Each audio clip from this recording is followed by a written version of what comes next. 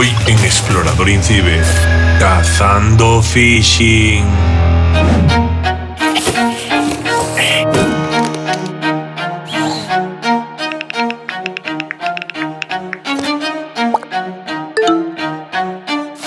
Queridos amigos, estamos a punto de presenciar en vivo un genuino caso de phishing.